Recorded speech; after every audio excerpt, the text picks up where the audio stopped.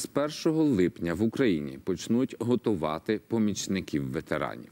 Відповідну постанову ухвалив Кабінет міністрів. Про це повідомляє урядовий портал. Проєкт запрацює у чотирьох областях: Дніпропетровській, Львівській, Миколаївській та Вінницькій. Деталі розпитаємо у Юлії Лапутіної, міністерки у справах ветеранів України. Пані Юлія, вітаю вас наживо в ефірі марафону. Е, Отож, е.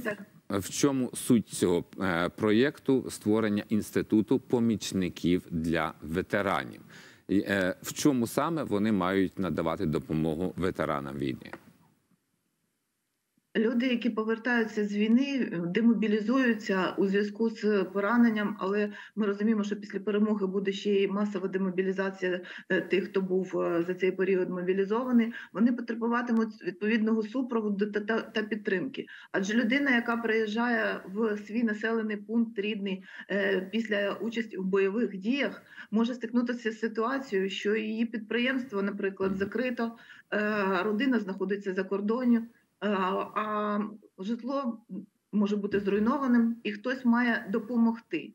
І, звісно, е, прямо на автостанції або на залізничній станції е, має прийти до цього ветерана його помічник і супроводити його і сказати, надати е, тимчасове місце проживання, поки він знайде собі е, постійне або е, отримує відповідні відповідну підтримку, розкаже, чим він може скористатися, якими послугами, куди йти, по які довідки, а також буде безпосередньо супроводжувати його по всім установам, де ветерани будуть отримувати сервіси, тому що дуже важливо. Ми зараз маємо розмови з великим бізнесом, які мають багато демобілізо- демобілізованих людей, і дехто вже після поранення реабілітації повертається на е, місце роботи своє попереднє. Але до нас звертаються HR-менеджери і кажуть, що дуже важко людям відразу інтегруватися до цивільного життя. І ми допомагаємо, зокрема, таким компаніям з тренінгами для е, персоналу, як комунікувати з тими, хто мав досвід участі в бойових діях. Тобто, фактично, ми будемо створювати інститут підтримки, який буде діяти на рівні громад. Люди будуть працювати ці помічники саме в громадах. На рівні районів е, буде створено або е, змінено е, профіль комунальної установи, де воно будуть фактично працевлаштовані ці помічники ветерана. Пріоритет є у виборі або у формуванні цих помічників ветеранів є те, щоб ці помічники були саме з числа ветеранів, щоб працював принцип рівний рівному, тобто тільки той, хто пройшов війну, пройшов е, випробування такі, розуміє е, інших людей, які вже зараз повертаються з фронту. Або також це мають бути члени родин е, наших захисників і захисниць, які зустрічали раніше ще за попередніх років своїх рідних з фронту і знають, як важко адаптуватися до цивільного життя, і готові допомагати іншим е, родинам е, проходити цей шлях. А також е, одним із пріоритетів, що помічником може стати член родини загиблого захисника або захисниці. Е, У нас дуже багато таких. Практик, де люди, які втратили, на жаль, на війні своїх родичів, обирають для себе служіння і допомагати іншим у адаптації до цивільного життя. Тобто, ця інституція буде створена в чотирьох областях. Це пілотний проєкт. Е, І загалом чисельність е, помічників е, у цьому пілотному проєкті буде 400 осіб. Е, Буде відповідним е, електронним способом на- наш сервіс є ветеран, е, формує вже відповідний застосунок, щоб люди могли податися на заявку, подати. І звісно, що такі помічники.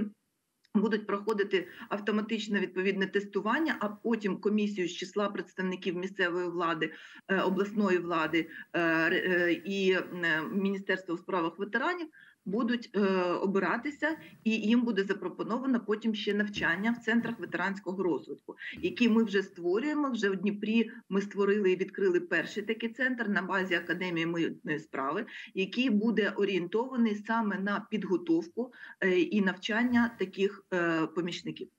Е, Ви сказали, що е, наразі це пілотний проект буде запроваджений у чотирьох областях. Коли буде можливість охопити всі області України е, діяльністю цих помічників ветеранів?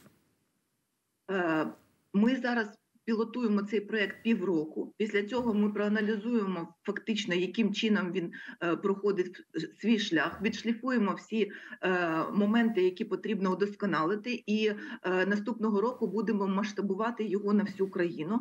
І ми, звісно ж, також радилися з нашими іноземними партнерами, де є відповідні інституції, де, де є багато ветеранів. Наприклад, в Америці це називається Professional Veterans Advisor, тобто професійний ветеранський радник.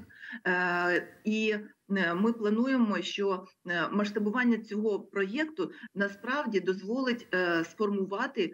Таку е- екосистему загальнодержавну е, від рівня громади до рівня е, вже центральних органів влади і інфраструктуру, де ветеран, де би він не перебував, у нього була своя точка входу для отримання відповідних сервісів. Тобто, якщо він проживає в сільській місцевості, до нього приходить помічник ветерана, він йому допомагає отримати інформацію. Е, Яким чином можна пройти там відповідну реабілітацію або перенавчитися на цивільну спеціальність, е, здійснити переход з військової служби на цивільне життя, то, наприклад, на рівні вже району е, це можуть бути ЦНАПи, центри надання адмінпослуг, куди також цей помічник може е, маршрутувати е, ветерана. І у нас також є вже позитивні приклади. Ми підписали меморандуми з асоціацією ЦНАПів, і зараз активно відкриваємо ветеранські вікна у всіх ЦНАПах. Наразі у Кривому Розі відкрито 5 ветеранських вікон, де фахівці надають інформацію. Так, пані Юлія.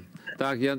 Я сподіваюся, що цей інститут таки запрацює. Пілот е, е, пройде успішно, і е, ось люди, які заслужили цю опіку, наше ставлення до нього е, е, матимуть е, підтримку, е, зокрема і завдяки інститутові помічників ветерана, про які ми говорили з Юлією Лапутіною, міністеркою справах ветеранів України. Дякую, пані Юлія.